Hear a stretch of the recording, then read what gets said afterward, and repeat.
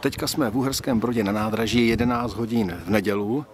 Kam se chystáte jako škola? na, na lyžařský kurz, uh, vlastně je to pro, pro první ročník, je to druhý turnus už a jedou tam třídy ME1A, SC1, vlastně sociální činnost a vlastně KS1. Uh-huh. A je to tedy druhý, takže my, to, naše škola vlastně řekněme v tom turnusy, únoru. Vlastně, je, je to první a druhý turnus jsou pro prváky a ten třetí je taky výběrový do Alp, takže to je vlastně takový pro celou školu. Uh-huh.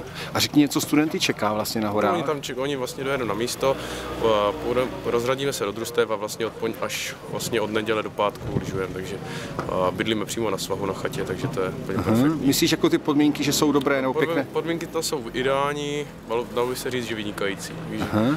Takže tak, no. Ano, možná rodiče se můžou ptát, jaká je péče, nebo podobně, nemusí mít jako o své děti strach? strach? Nemusí, nemusí.